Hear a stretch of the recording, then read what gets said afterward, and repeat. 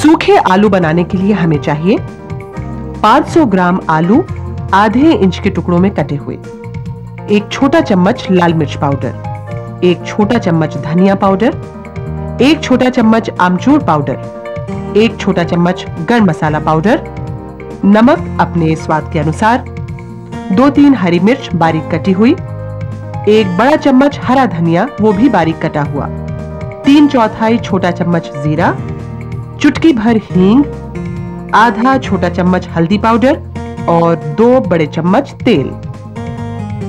आधे लीटर के बर्तन में तेल डालकर 100 प्रतिशत पावर पर डेढ़ मिनट तक के लिए माइक्रोवेव करें।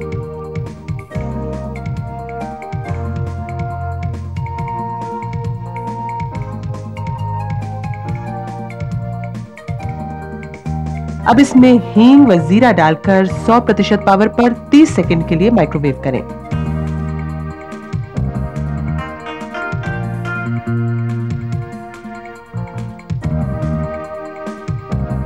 इसमें कटे हुए आलू, नमक व हल्दी डालें और इसे ढककर 100 प्रतिशत पावर पर 8 मिनट तक के लिए माइक्रोवेव करें।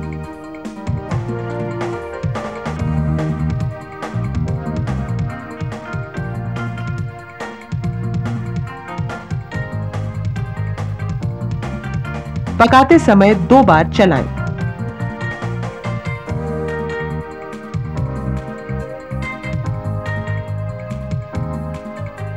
अब इसमें लाल मिर्च पाउडर, धनिया पाउडर, गर्म मसाला पाउडर, आमचूर पाउडर व बारीक कटी हुई हरी मिर्च डालकर 100 प्रतिशत पावर पर दो मिनट तक के लिए माइक्रोवेव कर लें।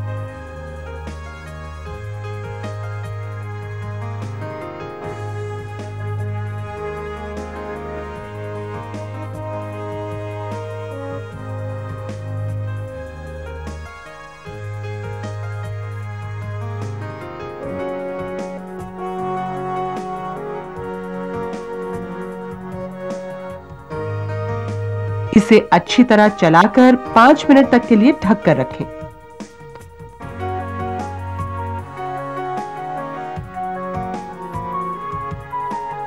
और फिर अंत में इसे बारीक कटे हुए धनिए से सजाकर गर्मा गर्म परोसें।